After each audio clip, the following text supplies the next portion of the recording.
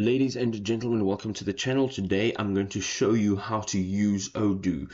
Now, if you are unfamiliar, it is an absolutely amazing, powerful tool to um, streamline all of the processes in your business. So let's get in. The first thing you need to do is jump onto odoo.com and go to the button right at the top it says start now it's free and literally you get some free services so you can go ahead and once you've done that you will basically have a chance to choose from one of these um, apps or one of these um, funnels okay? So what we're going to jump into is the crm now by far their crm module is absolutely amazing. So once you go into crm you will find this page. Now, know that this all is also available. Um, you can go ahead and you can have a look at whatever other apps they offer. You can also um, manage your contacts here. You can manage your um, calendar. You can organize your calendar. Um, if you have team members you want to um, manage all your discussions with, it's all in there and then of course you can have a look at setting up your account and your profile including your look and feel um, in settings. All right so once you've gotten all that done you will get into this page over here. Now this is where the magic happens. First of all on the left hand side you can see um, here you can manage all of your sales um, your pipeline activity um, all of your team members, and then also all of your customers. You can see all of this on one screen in one place.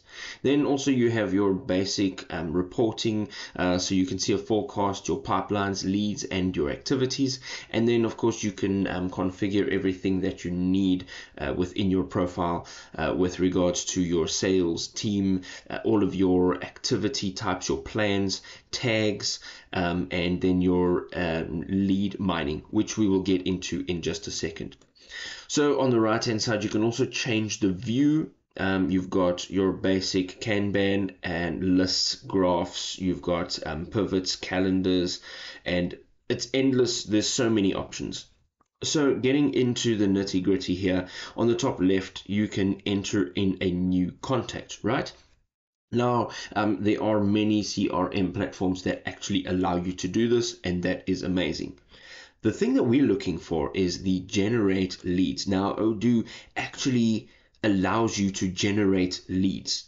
Okay, they actually give you leads. So if you go in here, you can go ahead and it says um, it gives you a number and companies. So you can say three companies, you can say five companies, and then you can have just their companies or you can include companies as well as their contacts. Now we want to do that because we want companies with their appropriate contacts. Okay, you can now have a look um, for uh, a country of choice. So we're just going to go ahead and say United States, and here you can pick the specific states that you would like.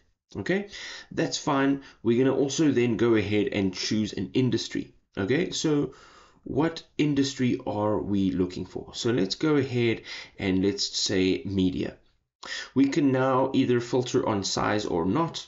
I'm going to leave that off because we want every type of um, media company within the United States so that we can have as much um, as possible to work with.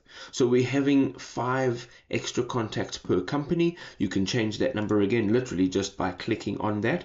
And then you can either filter by role or by seniority. Now, if we go into role, um, you can now choose the preferred role. So if you're looking at a media company, um, we're looking at um, maybe speaking to um, the consulting department. You can add an additional role here. You can search for more.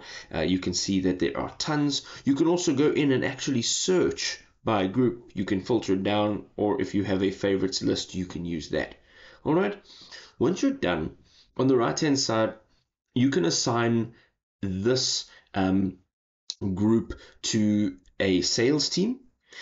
If you have multiple sales teams, you can assign it to a specific salesperson, and then also you can enter the tags that you would like associated with these leads. Okay, so for now, we're going to leave it just as that, and at the bottom, you're going to just say generate leads. So once you tap on generate leads, you'll see on the left hand side you have um, these three um, leads that have been generated. Now, this is amazing. When you go in here, right, you can actually see all of the details of the actual leads. Now, I did change the details slightly in terms of um, the uh, country and um, industry that I was searching for, but the, the concept here stays the same. I have now the contact details for all of these companies. Okay, so what's nice about this now is you can color code and customize every one of these cards.